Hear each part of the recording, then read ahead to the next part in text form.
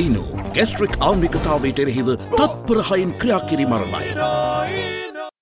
සියලු සමීක්ෂණ වලින් සජිත් ප්‍රේමදාස මැතිතුමා ඉදිරියට ගිහිල්ලා තියෙනවා කියන එක ඉතා පැහැදිලි. අපි කරපු සමීක්ෂණ වලින් බුද්ධ්‍යංශයේ වාර්තා වලින් මේ හැම වාර්තා වලින්ම සජිත් ප්‍රේමදාස මැතිතුමා ඉදිරියෙන් ගිහිල්ලා තියෙන රාජපක්ෂ කණ්ඩායම දැන් වියරු වැටිලා. සජිත් ප්‍රේමදාස මැතිතුමා කියලා කියන්නේ ඒකීය ශ්‍රී ලංකාවක් කියන ප්‍රතිපත්තියේ ඉන්න ජනාධිපතිවරයෙක්. ඒ නිසා අපි ගාව නැහැ ඊළාම් කොඩිය උස්සපු නායකව අපි ගාව නැහැ. දැන් කවුද අපි අහනවා?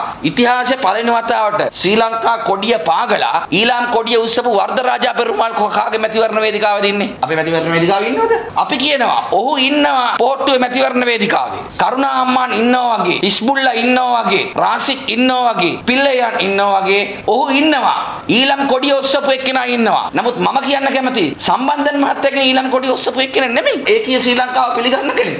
මිත්‍රශීලී නායකයෙක් අපේ රටට ඕන. නිදහස ප්‍රජාතන්ත්‍රවාදය අගය කරන ඒක ගරු කරන නායකයෙක් අපේ රටට ඕන. සැබෑ දේශප්‍රේමයේ තියෙන ඒකීය රාජ්‍ය පිළිගන්න බුද්ධ ආගමට ප්‍රමුඛ ස්ථානය ලබා දෙන අනෙක් ආගම් වලට නිදහසේ තම ආගමික කටයුතු කරගෙන යන්න හැමෝටම ශ්‍රී ලාංකිකයන් විදිහට කටයුතු කරන්න පුළුවන් නායකයෙක් ඕන. ඒ වෙන කවුරුත් නෙවෙයි සජිත් ප්‍රේමදාස මැතිතුමා විතරයි සැබෑ දේශප්‍රේමියා. හොරකම් නැහැ, වංචා නැහැ, මිනිමරලා නැහැ. සම්බුදු සාසනය දිනු කරලා තියෙනවා. ආණ්ඩුවේ මුදල් අවබෝධය කරලා නඩු පිට නඩු වැටලත් නැහැ, හැංගිලා රට පැනලත් නැහැ. 100% ශ්‍රී ලාංකික ප්‍රොඩක්ට් එකක් නිෂ්පාදනයක්. සරත් පොන්සේකා මැතිතුමා හිටපු යුද හමුදාපතිතුමා සජිත් ප්‍රේමදාස මැතිතුමා යටතේ ජාතික ආරක්ෂාව තහවුරු කරන්න රටක් හැටියට ආණ්ඩුවක් හැටියට ක්‍රියා කරනවායි කියලා බොහොම පැහැදිලිව ප්‍රකාශ කළා තිබෙනවා. එතුමා මේ රටේ ජාතික ආරක්ෂාව තහවුරු කිරීමට වගකීම් බාර දෙනවායි කියලා කියන්න පෙර ඒ පිළිබඳ හොඳම නිර්දේශය ලබා දුන් වත්මන් විපක්ෂ නායක මහින්ද රාජපක්ෂ මහතා. පාස්කු ඉරිදා සිදුවීමෙන් පස්සේ පාර්ලිමේන්තුවේදී පැවති ඒ පිළිබඳ විවාදයේදී මහින්ද රාජපක්ෂ මහතා තමයි කිව්වේ සරත් පොන්සේකා වගේ